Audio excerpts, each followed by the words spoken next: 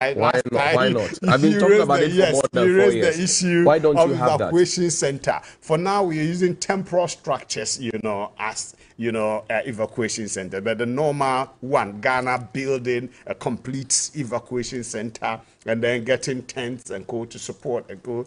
Uh, we're yet to to get It's into not part of your plans? Yes. Oh, for now. As a disaster management organization. Oh, it, it should be part of our plans, but we Is need to get. of, has it been put uh, on paper? yeah, I don't have it on paper. Evacuation center, I don't have it on paper. For now, we're using the temporal management and temporal structures. And then school institutions, churches, community centers, as and where it occurs, the incident occurs. Okay, but to say strategically, we are taking uh, honorable MPs enclave, uh, identify a location, build evacuation center for the northern sector echo. Uh, that is not on the table My, as far as my- I my final yet. question to you is you said you have taken aid there. How much aid have you taken there?